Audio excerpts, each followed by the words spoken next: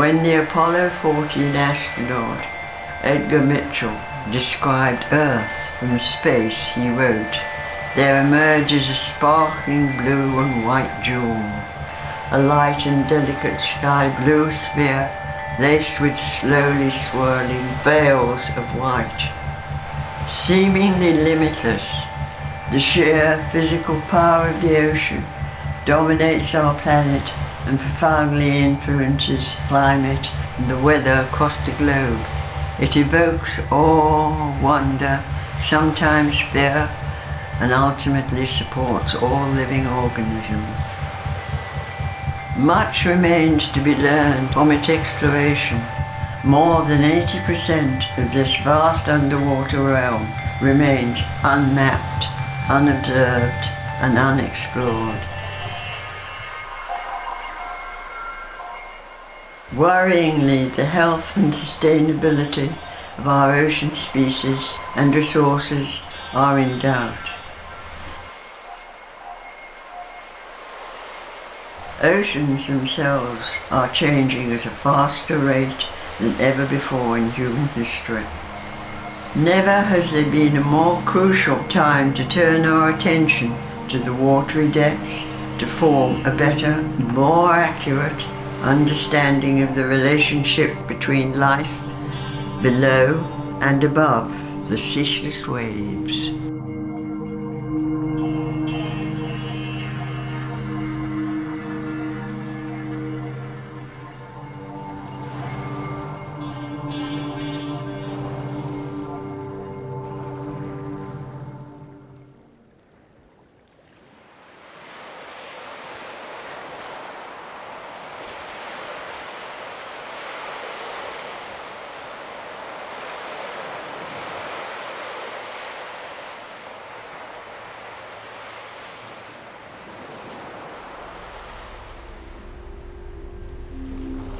The Earth oceans represent one of the most stable environments that we have ever known, uh, but it goes back to their evolutionary past, where they were initially formed when the Earth was a nothing more than really a molten ball of rock, and it was almost the end of the Earth because there was a collision between the Earth and a Mars-sized object, and that collision, some people think, actually helped transfer a molten iron core to the centre of the Earth and that molten iron core actually created a magnetic shield around the Earth, protecting it against the significant dangerous solar winds that were being bombarded with up till that point.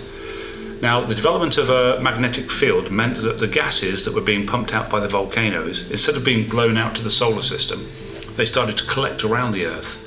And as the gases, particularly carbon dioxide and water, started to collect and they rose further in the atmosphere, they started to cool. And eventually they started to fall as a early rain.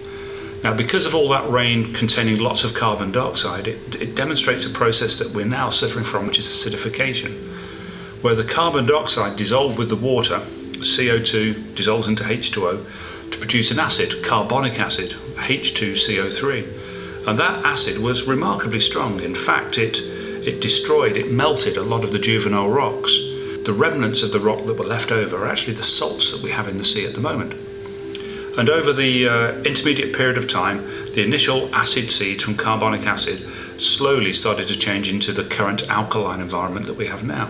The sea's pH are currently around about 8.2 to 8.4. And over the period of time as well, one of the most significant biological processes to evolve was that of photosynthesis.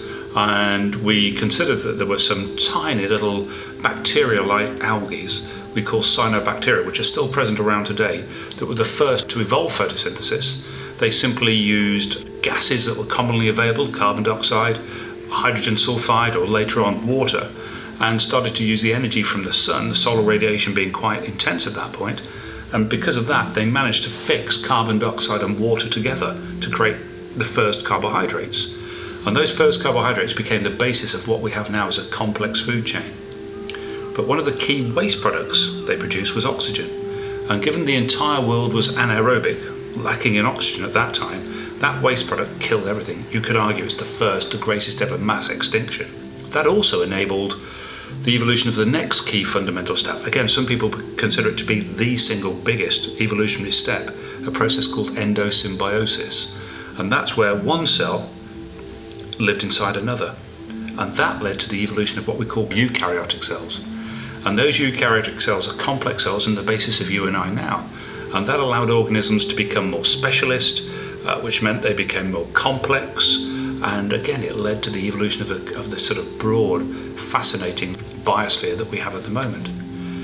But it does mean that because the oceans were largely stable for a few hundred million years, that all the organisms that were evolving within that environment haven't been required to evolve the ability to tolerate much of a change.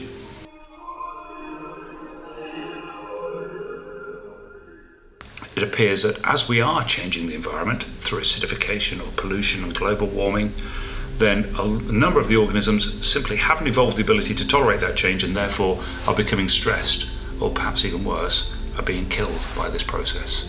Um, and hence we're looking at a, a significant change in the diversity of species in the marine environment associated, it appears to be, and the evidence all suggests, no matter what anyone else would say, associated with anthropogenic impact, pollution, global warming, acidification, carbon dioxide, and methane. Now, uh, one of the issues is, from our point of view, is that um, I mean, I come from the Midlands, probably the furthest point from the, the sea that you could possibly have in England. And uh, you know, as, a, as a, a, young lad, I'd think, you know, what, what on earth is that going to do to me? Why am I bothered about this? And there are several key issues. Not only do we get a lot of proteins from the sea, not only do we rely on the sea for lots and lots of products, but perhaps crucially, every other breath that we take is associated with photosynthesis, associated with those marine phytoplankton that are part of the marine environment. And if we start to change the marine environment dramatically, we can't predict but there is a possibility that we could start to change the diversity of organisms, which may indeed have an impact on their basic ability to photosynthesize, and therefore possibly reducing the amount of oxygen that we have. Together with the whole range of other ecosystem services on which we depend, there can be no argument that we are changing the environment. What we perhaps can't do is predict exactly what is going to change, how it's going to impact on us. We can only suggest that it will do. And possibly because we can't accurately model, accurately forecast what's going on, it does leave room for those people who perhaps don't wish to face up to the fact or perhaps have an economic value in maintaining these old working methods that appear to be having an impact. It probably leaves them the option to say, well, you can't prove it, therefore we're not going to change it. And again, really, we are perhaps getting to a point where if we don't change our environment, if we don't change the way we use our environment within the quite near future, we could reach a tipping point beyond which it will become substantially more difficult to pull back the problems that we've had and pull back the problems that we've caused. So it's an area that you could regard as being scary in many respects because who knows what's going to go on. I personally think it's an area of intense incitement where we have the ability to change things dramatically to benefit everything on this planet, including us and those little phytoplankton on which we all depend.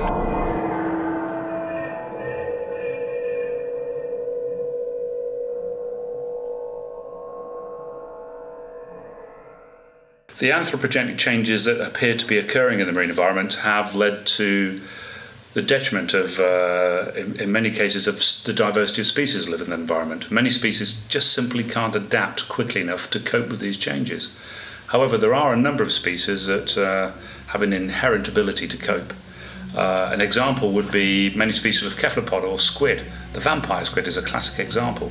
Uh, now, um, these particular organisms uh, their numbers appear to be booming because um, as we're polluting the seas with nutrients, we're creating what we call oxygen minimum zones or dead zones where there's very little oxygen, and that, as you can imagine, kills off a whole host, host of different sort of uh, uh, organisms. But the squid, uh, because it has a particular copper-based pigment in its blood, is able to tolerate those relatively low levels of oxygen. So we'll actually use these OMZs, oxygen minimum zones, almost as a refuge to either escape from predators or indeed to ambush their food from. Because we're fishing the world seas out and almost eating everything in the sea, we're also removing a lot of the competitors and predators of squid. It does mean that then the numbers of these particular really unique organisms is just growing into abundance. And it's one of the few species that actually is doing well because of man's influence. Similarly, the cnidarians, the jellyfish, are doing remarkably well. Uh, although there are lots of reasons behind this, it does appear that again we're fishing out their main predators, and therefore, with no predators, we're affecting the entire food chain, and that has led to vast swarms of jellyfish being found around many areas of the coast. Um, as we're, we're eating their competitors and their predators, it also means that they also have a vaster range of food sources that they can use. Um, and again, because their rather unusual life cycle, um, their life cycle really, in many cases, or not exclusively all of them, will consist of having a, an asexual section of a life cycle, which means they can rapidly reproduce if the environment is good. And then they have a sexual component of their life cycle, which means uh, they can evolve somewhat to, to look at their changing environment. So again, they've managed to take advantage of this of this changing environment and take advantage of the um, rather sudden reduction in predators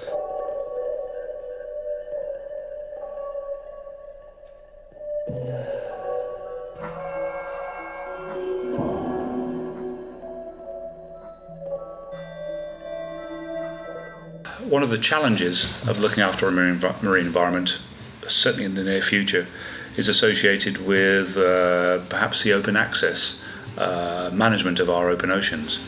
If we take a, a, sort of zone from our high water mark to about 200 miles out, most countries will control that themselves to a greater or lesser extent. We call that the economic exclusion zone. And within that, we are supposed to be able to control the uh, uh, the management of our resources, control our fishing, oil exploration, that sort of thing. However, when we start to go outside of those 200, 200 nautical mile zones, we open into the open ocean where the amount of management, control, legislation is pretty limited. And some people say that's a good thing.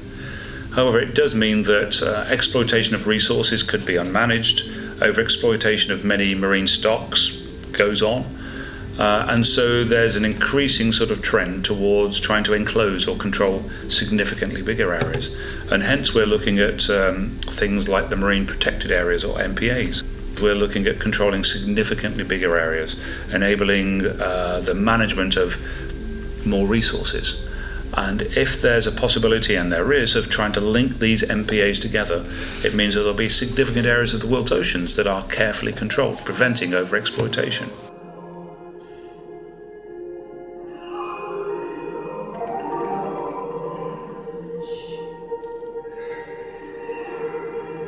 we often consider that the marine environment is under threat, and and it is, but you know we have a remarkably adapted species, the human being, and it's a species that I think is always looking for self-preservation.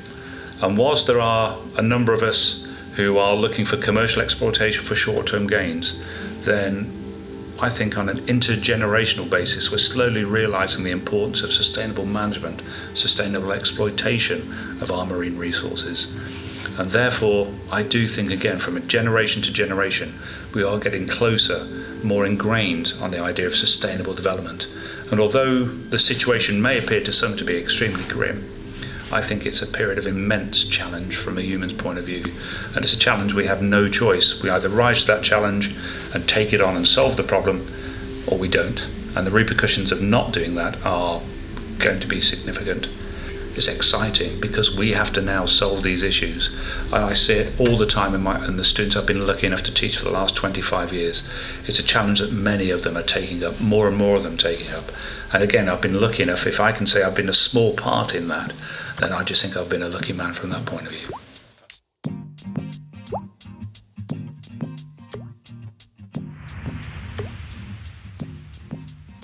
How we protect our oceans is one of the biggest issues the world faces today.